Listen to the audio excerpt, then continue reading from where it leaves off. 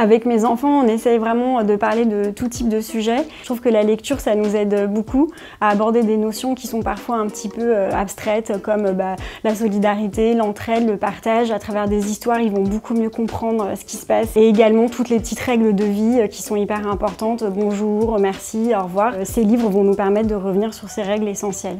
J'ai beaucoup aimé Le manteau de Séverine Vidal. J'ai trouvé que c'était un livre vraiment très touchant. C'est l'histoire d'une petite fille qui n'a qu'un rêve dans la vie, c'est de enfin pouvoir porter le manteau euh, rouge de sa grande sœur. Et un jour, enfin, sa grande sœur lui offre. Et là, dans la rue, il fait froid, il neige, et elle voit cette maman avec cette petite fille qui, elle, n'a pas de manteau. Elle va lui offrir. C'est vraiment un livre qui euh, est sur le partage, sur euh, l'entraide, et qui montre aussi aux enfants que eux, ils ont le pouvoir d'agir, même très jeunes. J'ai aussi beaucoup aimé le bon côté du mur. Au milieu des pages, donc, bah, il y a un mur. au début du livre, on pense qu'il y a un bon côté du mur et un mauvais. Et au fur et à mesure des pages, on va se rendre compte que, bah, en fait, on s'est trompé et que bah, l'ogre qu'on pensait méchant est en fait très gentil, que du côté qu'on croyait bien, bah, finalement il y a des animaux qui se font attaquer. Pour moi ce livre il est vraiment bah, sur euh, les préjugés qu'on peut tous avoir euh, dans la vie et que finalement on doit tous apprendre à vivre ensemble. J'ai aussi beaucoup aimé Bien vivre tous ensemble dans la collection du docteur Catherine Dolto qui est un chouette livre pour revenir en fait sur toutes les règles de vie, comment vivre ensemble de façon harmonieuse, penser à aller